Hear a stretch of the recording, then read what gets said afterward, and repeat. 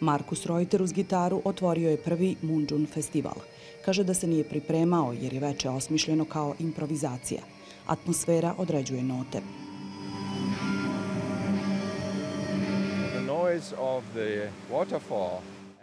Zvuk vodopada, to je nešto što upotpunjuje ono što radimo.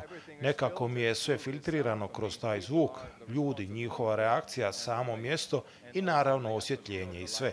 Ja sam evropljanin, iz Njemačke sam. Za mene biti na ovakvom mjestu koje ima takvu istoriju, vrlo duboku i dugu istoriju, uvijek je divno biti na takvom mjestu. Drugi put u Jajcu je indonežanin Dviki Darmavan. Sa koncerta održanog 2019. nosi lijepe uspomene. Moja nova muzika inspirisana je Jajcem.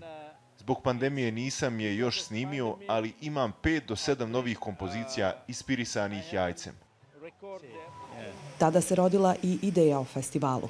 Organizator Borislav Kresojević kaže da je pandemija odgodila planove, ali su bili odlučni jer je Jajce njegov rodni grad. Involviran sam u jajačku muzičku scenu preko 50 godina, ali se nikada nije desilo da je neki događaj kao što je ovaj sad festival koji se održava okupio toliko e, internacionalnih muzičara.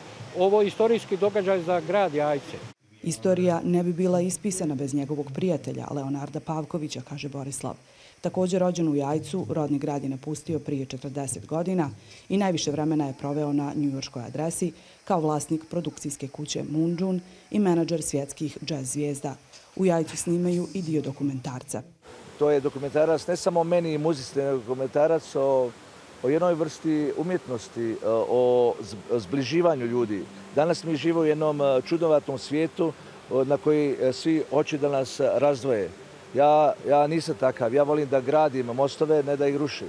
I to su ljudi iz, uh, uh, uključujući gosti muzičari, to su ljudi iz 13-14 država.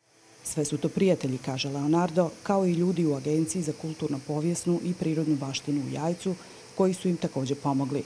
Moonjun festival dio je manifestacije doživi ljeto u Jajcu, Koncerte su, kažu, organizovali i tokom korone povećali su ponudu za turiste. Tako da smo mi već e, prošle godine bili došli na nekih 15% e, za ostatka u odnosu na rekordnu 2019.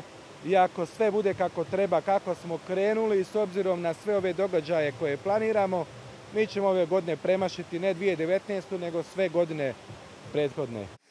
Hello Jajce, it's so great for me to be here tonight.